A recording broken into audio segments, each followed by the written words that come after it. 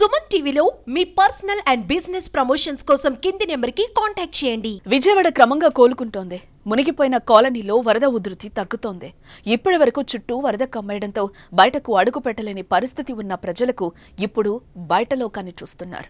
ప్రాణాలు అరచేతిలో పెట్టుకుని బిక్కుబిక్కుమంటూ బతికిన బాధితులు ఇంటి నుంచి సురక్షిత ప్రాంతాలకు వెళ్తున్నారు. తెల్లవారుజాము నాటికి రెండు నుంచి మూడు అడుగుల మేర వరద తగ్గుముఖం పట్టడంతో సింగ్ నగర్ నుంచి దూర ప్రాంతాలైన Kandrika Andhraprabha colony Rajiv Nagar Prakash Nagar LBS Nagar Radhanagar Dabakotlu centre Indiranayak Nagar Pipula road తదితర ప్రాంతాల నుంచి వేలాదిగా వరద బాధితులు సురక్షిత ప్రాంతాలకు తరలి వెళ్తున్నారు Urmila Nagar HB colony Chittinagar KL Rao Nagar Kabela Ramaraju Nagar Rotary Nagar ప్రాంతాలను చుట్టుముట్టిన వరద నీరు బయటకెళ్తోంది.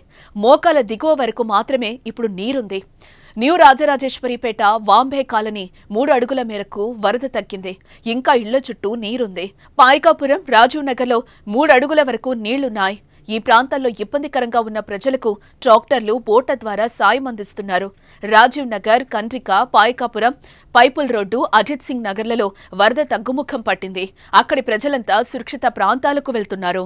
ఇటు మరోవైపు సహాయక చర్యలు కొనసాగుతున్నాయి. వరద ఉధృతి తగ్గడంతో యుద్ధ ప్రాతిపదికన పనులు చేపట్టారు. బాధితులకు పాలు నీళ్ళు ఆహారం పంపిణీ చేస్తున్నారు. వరద లేని ఇళ్ళలో ఫైర్ ఇంజన్ల సాయంతో బురద తొలగిస్తున్నారు. నీటి మునకలో లేని ప్రాంతాలకు విద్యుత్ సరఫరాను క్రమక్రమంగా పునరుద్ధరిస్తున్నారు. పారిశుద్ధ్య పనులను వేగవంతం చేశారు. ముంపు ప్రాంతాల్లో అంటువ్యాధులు ప్రబలే అవకాశం ఉండడంతో ప్రత్యేకంగా తయారు చేసిన అత్యవసర వైద్య కిట్లను నేటి నుంచి వైద్య ఆరోగ్య శాఖ యంత్రాంగం అందించనుంది.